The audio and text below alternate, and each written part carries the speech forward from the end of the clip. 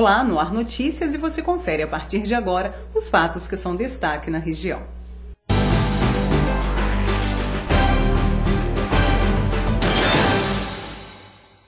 A Prefeitura de Congonhas promove debate na próxima segunda-feira, dia 7, na Câmara Municipal, sobre a política ambiental de Congonhas. Na mesma ocasião, será apresentada a lei que implanta a disciplina Educação Ambiental na rede municipal de ensino.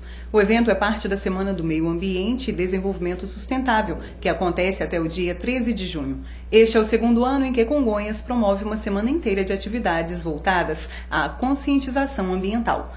Outro destaque será o lançamento dos projetos Saco é um Saco e Ida e Árvore. A programação ainda inclui passeata, palestras, seminários e caminhada ecológica. Veja a programação.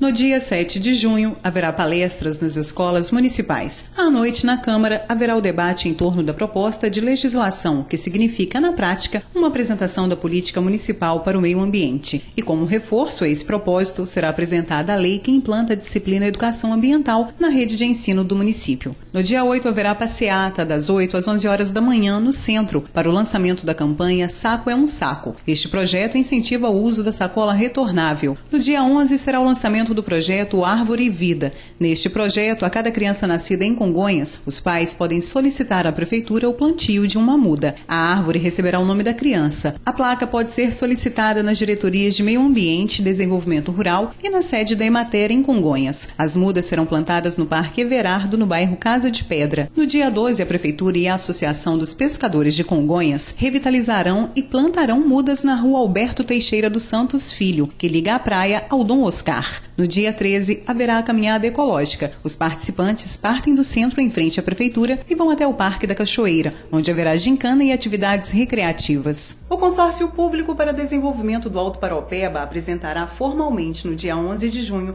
na Assembleia Legislativa de Minas Gerais, o Plano de Desenvolvimento Regional, que foi elaborado pelo CEDEPLAR, Centro de Desenvolvimento Regional da UFMG. Durante o seminário será assinado o Protocolo de Intenções entre o CODAP, que reúne as cidades de Belo Vale, Congonhas, Conselheiro Lafayette, entre Rios de Minas, Geceaba, Ouro Branco e São Brás do Suaçuí, do BNDES e a Unesco, para a formulação de projetos que contemplem o desenvolvimento articulado de toda a região.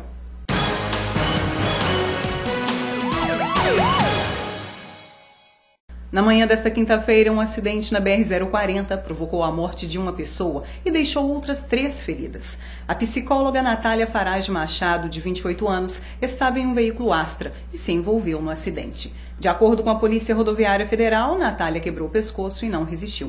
No outro veículo envolvido no acidente estavam a motorista Cristiane Pinto Bertoni, seu marido Juliano Bertoni e um bebê de três meses.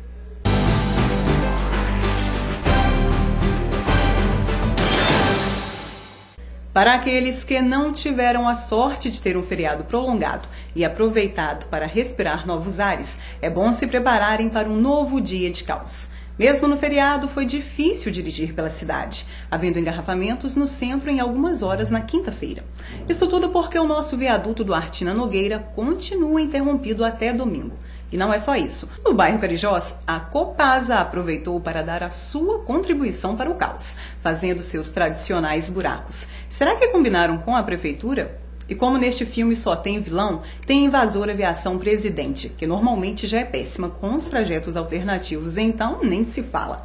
Outra vilã, pela própria natureza, é a MRS, que além de importunar a todos com seus hábitos em tempo integral, fecha as chamadas saídas alternativas de hora em hora. Há ainda os caminhões de carga e descarga, que diferentemente de outras grandes cidades do estado, que só permitem este serviço à noite, em Lafayette eles fazem o que bem entendem e a hora em que entendem chegando alguns ao cúmulo de ficarem parados em fila dupla próximo aos supermercados Santana, Azevedo, Brasil, Rodoviária e Supermercado BH, esperando outros descarregarem para ocuparem o lugar destes. Enfim, este é o panorama em nossa cidade.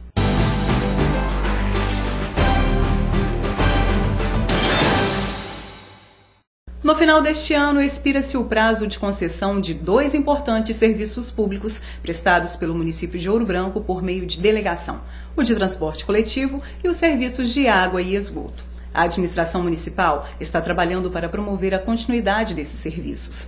No caso do transporte coletivo, o Executivo enviou à Câmara Municipal dois projetos de lei que adequam nossa legislação municipal à Lei Federal número 8.987-95, que dispõe sobre o regime de concessão e permissão dos serviços públicos. Logo após a aprovação desses projetos, o edital para a realização da concorrência pública para os serviços de transporte coletivo será publicado.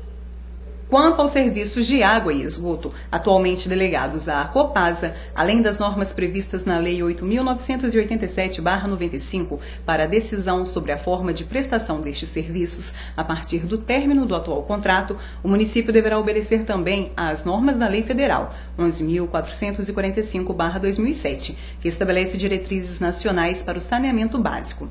Segundo esta lei, é obrigatório aos municípios para que se decida sobre as questões ligadas aos serviços de água, esgoto, água pluvial e resíduos sólidos, que se elabore o Plano Municipal de Saneamento Básico. Em junho será iniciada em Ouro Branco a elaboração deste plano, que deverá ocorrer com a maior participação popular possível, conforme determina a mencionada lei federal. Serão realizados diagnósticos das demandas por saneamento básico, audiências públicas que orientarão sobre as metas sobre o saneamento básico, dentre outros planejamentos. Sobre os serviços de água e esgoto após a conclusão do plano, executivo, legislativo e população terão condições de conhecer o melhor caminho para o município de Ouro Branco, ou seja, se os serviços continuarão a ser prestados por meio de concessão à Copasa ou outra concessionária, ou ainda se por meio de órgão próprio. A Prefeitura de Ouro Branco pede o apoio da comunidade para garantir a segurança na cidade. Quem quiser solicitar o acendimento de postes ou pedir reparos na iluminação pública deve ligar para a CEMIG, que é responsável por manter as luzes acesas na cidade. Cabe à concessionária a manutenção de postes e de lâmpadas que ficam em vias públicas. Dessa forma, se há luzes apagadas ou problemas na iluminação pública, ligue 116 e solicite reparos.